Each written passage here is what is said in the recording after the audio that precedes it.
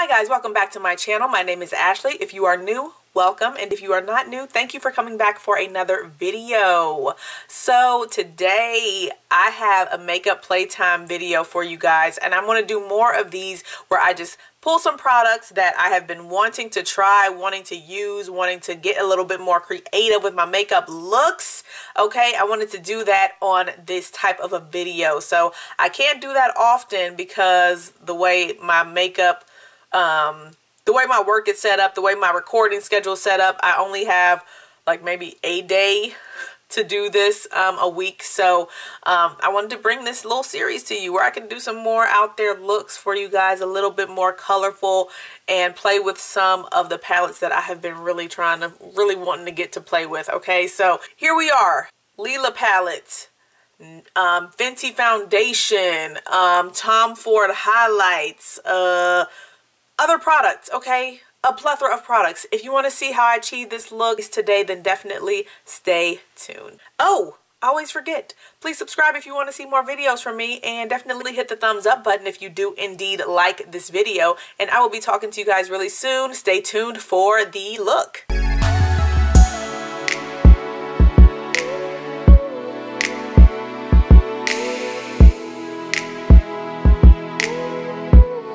All right, I'm going into my Tatcha Silk Canvas Primer. Just had a sneezing session, so my apologies for the sniffles. I actually want to use another primer on top of this. Um, I like this primer. It is in my haul, my January makeup haul, so yes. But I've got a new primer that I want to put on in this video just because I think the foundation I use I'm, that I'm going to be using is matte. So I'm going to be using the sample that I got from Beautylish. It's by this company called VDL. And it's their Lumilayer Primer. And this gives you a nice luminous glow on your skin. My face and the, you know, areas that you would like put a moisturizer basically. And I, so I think the premise with this company, VDL, is that it's supposed to like help you to achieve like a glass skin like look so and I think all they make is primers. So I just got back from Sephora's and I picked up the Fenty Beauty foundation. I've never tried well I've tried this foundation in a sample and it was in the shade 430 it looked cool you know I could make it work but it was a little bit more warm than I liked um, on my skin. Um, so since they're coming out with new shades tomorrow actually I don't know why I decided because I went I went today because I was off of work okay? And I picked up the shade 450. I swatched the shade that I actually use in NARS and then I saw which one of the Fenty when it was dried down matched the shade of NARS. So this one matched the most closely. So I'm going to use this one today. I'm thinking that this is going to work for me. And I'm just going to blend this out with a brush. I was going to get the like foundation brush but it was all sold out. So one thing I want to say about Sephora.com is they have this new feature where you input the shade of foundation that you like the match of your skin. You know, like, since I like NARS, I will input NARS New Caledonia, which is my shade in NARS that I like. And then it will give me the recommendation of which shade I would be, whatever other foundation I'm currently, you know, researching. That stuff is a liar. That thing does not work. And I'm so happy I did not order the foundation based on those recommendations. So here we've got a nice little medium coverage. I thought when I saw people like using this stuff online that it gave you, uh, you know, a better coverage than this. But hey, this is what I've got. So, all right, here I go again with more. Just in the areas where I want to have more coverage, obviously. And I'm just going to press this in those areas. Okay, that's better. Concealer, concealer. I'm going to go in with my IT Cosmetics. This is in my um, haul for this month. I just like to use this to um, neutralize that area, basically to make the under eye be the same shade as the rest of my face. So I've got a little bit of brightness there. Um, but it's not like overwhelming. I just stick with what is in front of me, and that is my Estee Lauder Double Wear Flawless Concealer, and I'm just going to put a little down here on the bridge of the nose. Cupid's bow. You can see how bright this is. So now, everything's starting to balance out more. Starting to balance out a bit more. So.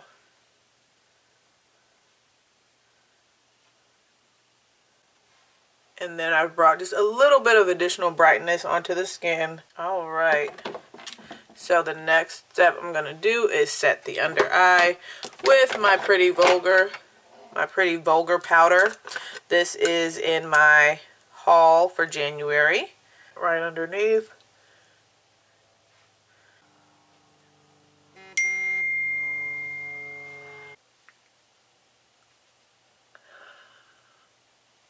Lawless Seal the Deal Loose Setting Powder in the shade Golden Translucent. This is like a medium deep powder.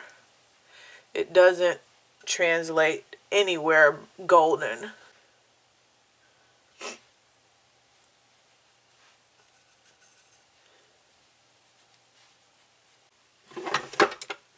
Alright, brows are done. Eyeshadow primer, Milani, of course. Time to carve out these brows and I'm going to use the L'Oreal. To use the same shade that is that I talked about in my previous video. This is Cocoa. Ooh, that was a lot. I didn't mean to put that much.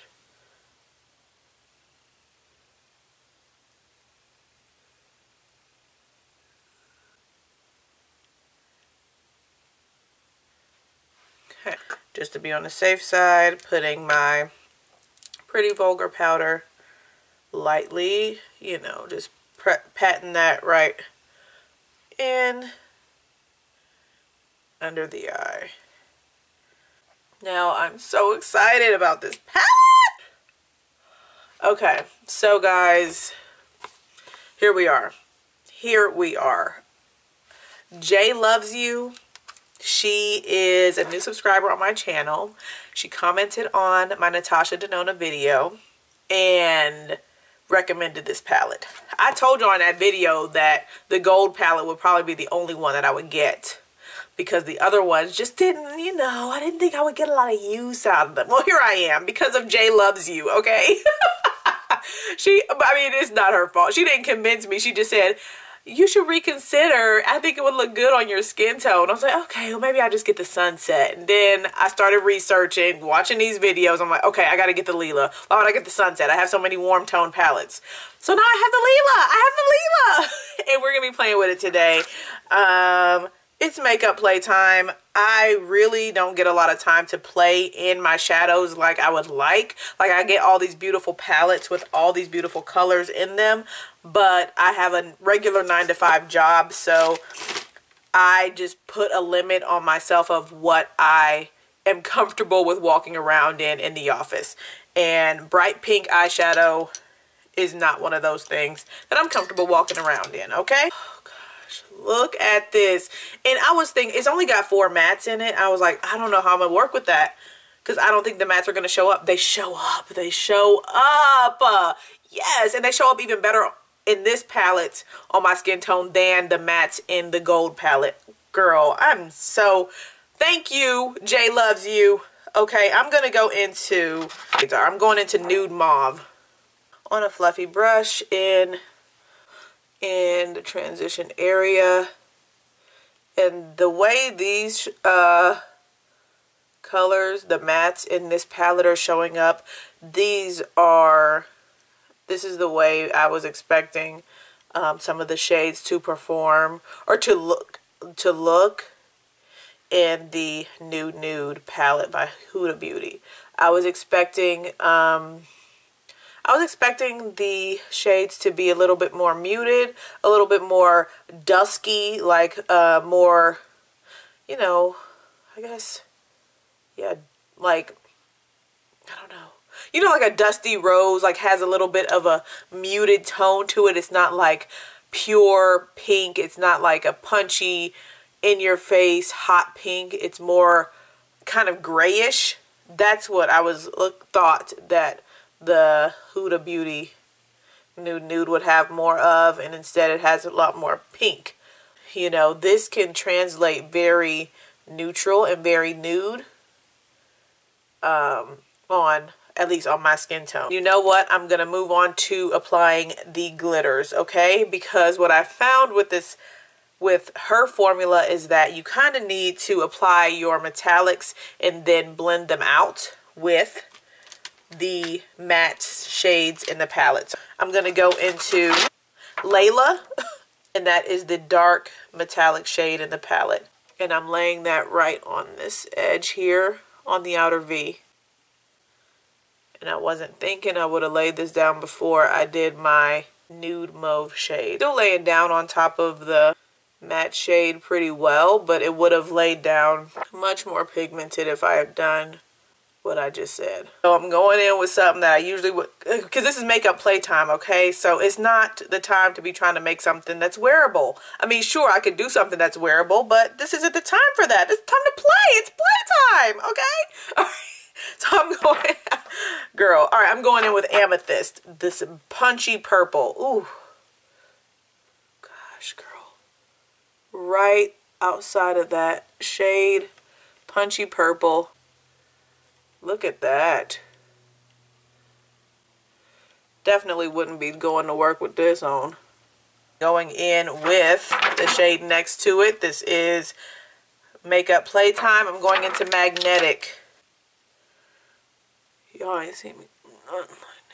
Woo! Guys, guys, guys. Oh my gosh. This is so beautiful. And you see how it just blends so beautifully with the amethyst. I'm going to go back in with amethyst, pop that right there to make that blend so prettily. Prettily is not a word, but hey, it is today. Okay. Okay, what are you going to do on the inner corner, girly? I'm going in with Helio. This is a nice, ooh, beautifully creamy metallic in the inner corner. In the inner corner. Great. So you've got this beautiful transition from a light shade to the pink to the purple. I'm going to go back into the pinky tone in this palette. Make sure I didn't cover it up too much. And so what I really also I want to do now is add a punch. I've already punched, but I'm going to punch some more. All right, so I'm going to do some punching, okay? I'm going to do that with pure, per pure, per pure, per pure, okay? This is a nice, bright, metallic. The other ones were more of satins. This is really metallic and I'm going to see how that looks on, oh my. You guys see, so look, there's a difference between this up here and that down there. Because all I did was lay it right across the bottom. There's a difference, guys. It may be subtle and you may not be able to see it all like that, but there's a difference. Voila. Taking that, and this is a um, metallic shade. Taking that on this tiny brush here and just placing that on this outer edge here to do some blending of the metallic shade that we used earlier. That deep, rich metallic shade we used earlier. Doing some blending there to add some more pink into that transition. Going in with my nude mauve again into my transition area. So into Helio, I'm going again, the shade I used on my inner corner. I'm getting that on a brush and bringing that up here. So we've got this whole area just a glowing, all right? Hey! Okay. Going into Amara. I'm really going far with this. Should be interesting to edit, huh? adding a little bit more richness to the transition area. So for my brow bone area, I'm going in with the gold. Magnolia. Oh my gosh. Look at the pigmentation there, guys. Jeez. It's just so creamy. It lays on so nicely, and then it's there, and it's like it's self-blending. Put some of that same shade. I always like to use the same shade. Typically, I won't say always. Typically, the same shade on my inner corner that I used on my brow bone. So I'm going to take amethyst all over the bottom, lash, not all over, but run this into the under the bottom lash line. going into Amara, Amara, whatever it is, which is the rich matte shade in the palette, and blending that underneath. Just running that underneath the amethyst shade. It looks makes a nice, pretty purple pink blowout situation going on. Step is lashes, or not lashes, mascara. Y'all know I don't do lashes. Funny thing is, I own lashes. I have like two new pairs of lashes. Next step is liner. My liner of choice is going to be my Makeup Revolution.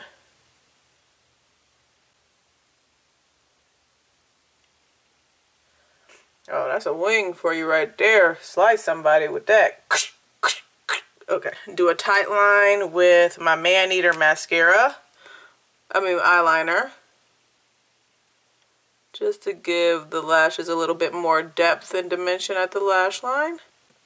Mascara will be Superhero by IT. I think it's time for me to get a new one of these.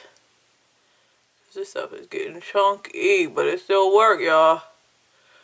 This mascara is freaking bomb, bro. Alrighty.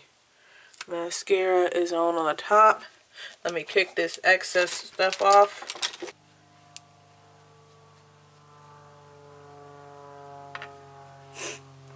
Got it off for the most part. There is some here, right in that area that I did not put the powder down all the way up there. I didn't get it. I didn't get it up there like I should have. Okay, guys, I'm going to do my other eye, then be back to finish the face. All right, so here the eyes finished. Um, I'll give you guys a little quick close-up before we finish the face. So, yeah. All right. Next step bronzer going into my Sephora um, Spiced Market palette. Yeah, and I've got a full video on this palette comparing it to Juvia's Place and such and such. So, but yeah, it's really a review on this. And then at the end, I mentioned a couple other palettes that are set up similarly to this. Now for contour, this is the LA Girl Pro um, contour powder in the shade Deep. And this is very deep, so I'm going in very lightly with a pointed brush.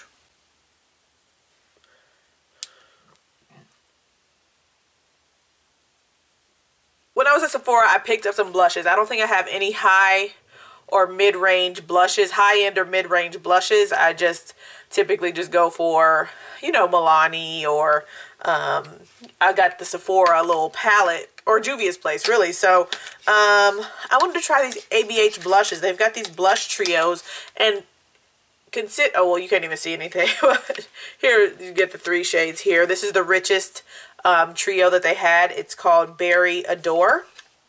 And, um, I was just curious. And I think, I feel like for Sephora, it is relatively inexpensive. This was $30 and you get three shades versus NARS, you get one shade for $30. Granted, it's, you know, bigger than these little strips, but whatever. So I'm going to go in with one of these shades. I think that this will go, um, these shades will go nicely with my uh, face to or my eyes today because I'm doing real purple pinky tones on the eyes. So I'm going to go in with the deeper shade which is called Velvet.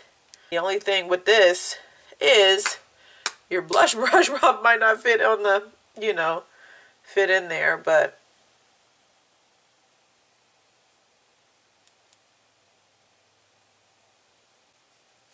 So I actually probably went a little bit too ham with these with the blush. So I'm going to cover that up. Actually, I'm going to go on my highlight first and then go do my cover up. The highlight is Tom Ford. So beautiful. It's so luxe.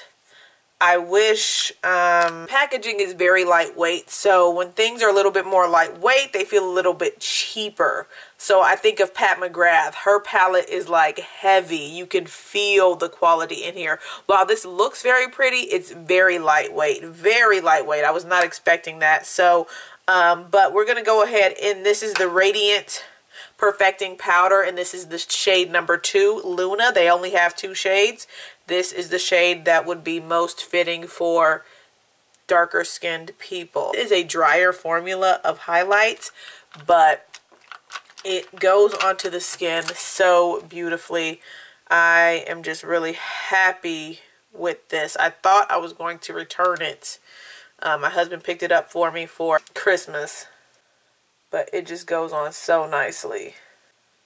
And it's not a glittery highlight at all. It's a nice smooth highlight. So it gives the skin like a nice sheen, which is what I'm really like going for in my highlights nowadays. Kind of tone everything down. I'm going in with my Sephora Micro Smooth, really focusing on top of that highlight and then on top of the blush. All right, I'm going down with, going down. I'm going in with my NYX Downtown Beauty liner. Okay, just like in my other video, I'm going to go in with my Maybelline Matte Lipstick and Toasted Truffle. Since there's so much going on on the eyes, I'm going to do something a little bit toned down on the lips. I'm going to go into the center with Christy